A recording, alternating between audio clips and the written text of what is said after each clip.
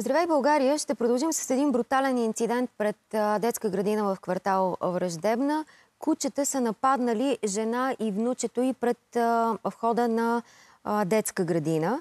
Докато се качвали в семейния автомобил, при опит да спаси детето, жената е изпуснала един от двата йоркширски териера, които е държала в ръцете си. За секунди домашния любимец е бил разкъсан и убит от а, освирепелите животни. Цялата тая кървава история се случва пред очите на деца и на родители. Румен Бахов е сега пред а, детската градина шарена дъга. Добро утро, Румене. Замислих се по какъв начин контрастира името на детската градина с тая брутална история, която се е случила там. Здравейте, Здравей. добро утро на всички, които ни гледат. Улица 27 Враждебна, добро утро. Добро утро. Хапана ли сте? Не. А гонена ли сте? Да. Всички тук са или гонени, или хапани, нали? А, Гери, здравейте. Здравейте. Много апокалиптично звучи нещото, което ми разказахте, но всъщност, доколкото разбирам, детето Детето, свекърва ми. Имаме два а, две кучета йоркширски териери, от което едното ни куче беше захапано на място и починало на място. Как стана точно? А, случая стана, тъй като свекърва ми с детето взимаха, а, я взимаше от детска градина. А, излизайки от детската градина, посока... 89-та шарена дъга. 89-та шарена дъга, точно така. Излизайки от детската градина във времето, в което се взимат децата, тръгнали към колата да се качват. Двете кученца, които имаме с домашни любимци йоркширски терери, са били в краката на свекърва ми, детето в ръката й, хванато за ръчичка съответно и цялото това нещо се спуска. Това куче се спуска към тях, свекър ми е в опит да защити детето, да хване детето, то захапва кучето пред нея. А едното ни куче, съответно, което умира на място, детето е стресирано изключително много, както и цялото ми семейство, разбира се, защото това куче беше час 10 години от нашето семейство и няма как да го избегнем, но поне ще избегнем някакъв случай, който може би някое друго дете или нещастен родител може да има последствия са доста сериозно, защото кучето е изключително агресивно. Нахапва учители, нахапва деца, гони родители, гони служители на детската градина и мисля, че трябва да се вземат някакви мерки, защото това нещо може да се повтори и, и да са наистина фатални последствията от цялата ситуация. Доколкото разбрах и вие сте гонена или хапана. Вече не знам в коя категория сте. Не, не съм гонена, но просто си спирам колата и мене ме е страх да си сваля децата. Защо? Еми, защото просто кучетата са те ги е страх, както и мене. Даже един път си бях спряла колата и си оставих децата и тръгвам и гледам, че номера на колата ми го нямаше. Беше на земята. Номера на колата. Не знам дали той го е махнал или някой може да го е бутнал, но просто това не е нормално куче, което свали номера на кола. А, доколкото разбрах и вие, изпитвате страх, когато оставяте децата си тук да, пред 80. Да, не спирам, защото има огромна дупка и не скачат кучета. Изкачат, да. Момента, в който тръгнеш да сваляш детето и то отзад ти идва в гръб. И атакува. Атакува. А, добро утро, госпожо директор. Моля? Извинявам се, напоследък показваме в категория гонени и хапани. Вие от хапаните. Да, аз мисля, че карах колелото си по този начин, като очаквах да изкочи някой от спокойно по улицата.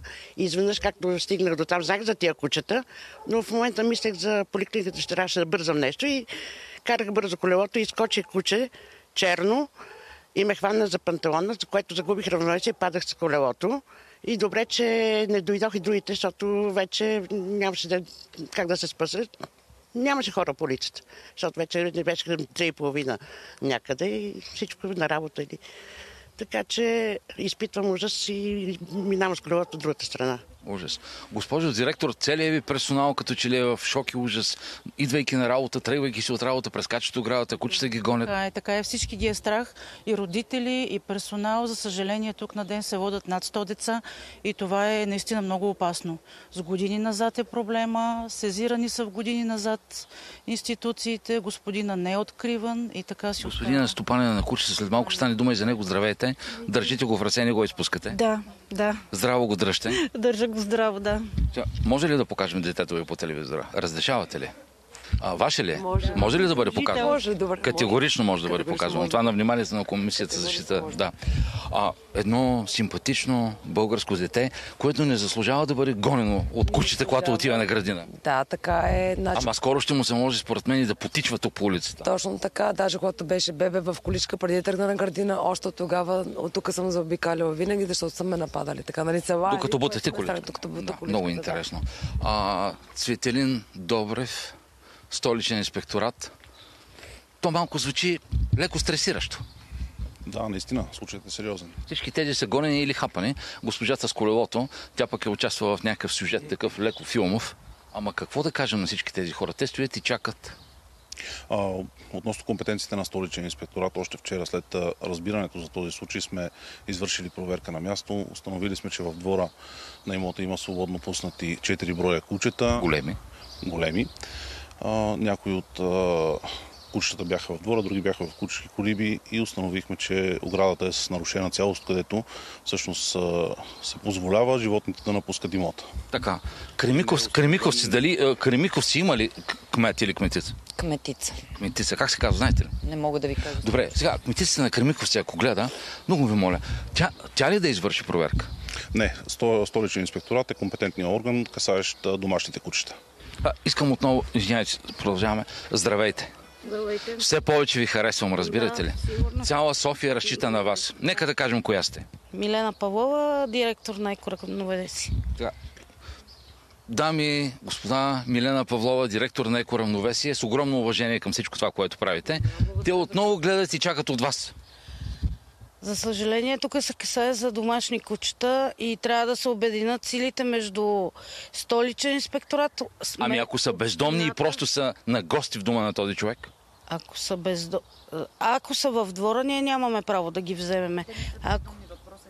На, значи, гос... така, кажете им какво ще направим, защото те трябва да си водят децата на училище, на градина. Значи трябва да се обединят силите от община, столичен инспекторат и полиция, защото има вече случаи на разкъсано куче и а, собственика на тези животни да по административен начин да се накарат да си ги държи само в двора. Благодаря. А, господин Добрев, благодаря. Надявам се, че ще направи всичко необходимо. А на вас какво да ви обещая? Да ми обещаете, че няма да има пострадали, най-вече наистина няма да има пострадало семейство. Кучето е може би ви. една лека, така, може да се каже, ниво на живот ниско, но за де, нивото на живот на децата, нали мисля, че трябва да бъдем малко по-отговорни, когато става въпрос за деца и детска градина. Благодаря. Много се надявам. 89-та градина, шарена дъга. Тук няма да има преследвания и късане на кръчоли, на, кръчоли и късане на кръчоли и падане от колелета и всякакви други шоу програми рано сутрин. Бягаме. Всичко добро, да, да се надяваме, че ще бъде. Да, благодаря на Румен Бахов и на неговите събеседници. Да носа живи и здрави в условията, в които живеят. Още веднъж да кажем, защото сме го казвали и по повод на други а, такива случаи. Домашните кучета не се разхождат безпризорни. Напротив, разхождат се заедно с стопаните си, разхождат се с каишки, с намордници, ако са големи, ако са опасни. А що се отнася до административната санкция, ми хайде и нека да е максималната, за да няма пореден такъв случай.